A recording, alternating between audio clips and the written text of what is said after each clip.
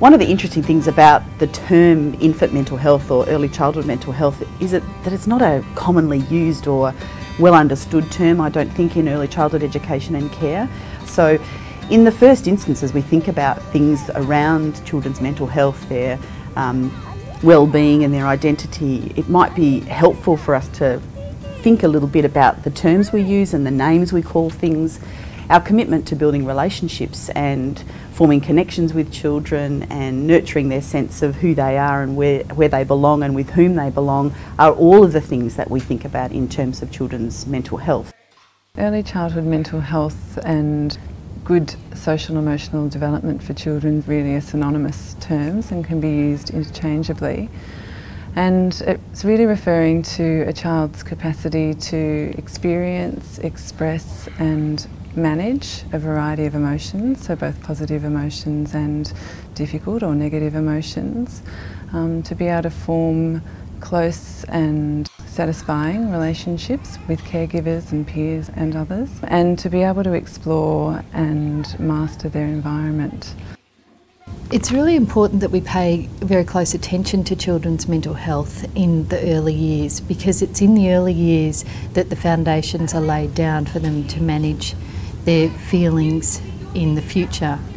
And how they manage their feelings at the time is very much a process of what they are learning themselves, but also what they get back from their relationships. Good mental health is um, is developed. It, it, doesn't appear all by itself. It's developed uh, in relationships with other people. In the beginning, that's the primary relationship with the mum and the dad and the brothers and sisters, if there's brothers and sisters. Um, and then it's extended out to other people that the child meets. And you can see that children will be learning how to manage their feelings. Um, they'll look at their carer to see whether their feelings are appropriate or not, or whether they should worry or not.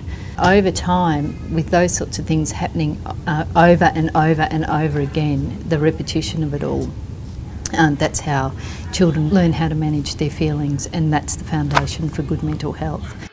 People that children have important relationships with model um, ways of being and ways of relating to other people, ways of dealing with feelings that children learn from. I mean, children want to learn from people that they're attached to, from people that they have strong positive relationships with. So I think there's, there's the deliberate intentional teaching that educators do, but there's also just just the fact of the relationship, the way the educator is, the kind of person he or she is, um, the ways they resolve conflicts, the ways they they deal with their own strong feelings. Um, children absorb those and, and learn from those and can apply those in, um, in their relationships.